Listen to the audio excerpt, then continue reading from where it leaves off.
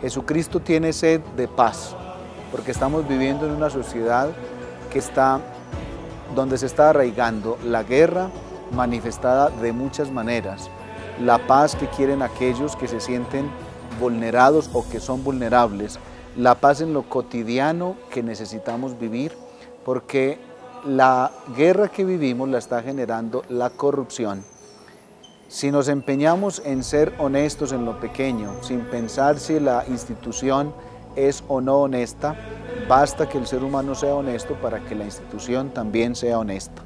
Jesucristo tiene sed de fe porque el mundo está viviendo en la indiferencia, en el olvido del Padre común que todos tenemos y que nos ha creado absolutamente a todos.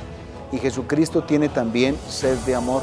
porque no estamos viviendo en fraternidad, porque no estamos siendo solidarios, porque nos estamos olvidando de vivir los valores verdaderamente humanos. Cuando soy capaz de encontrar en el otro mi semejante, cuando soy capaz de encontrar en el otro el que piensa distinto, pero es como yo, soy capaz de construir entonces paz y libertad.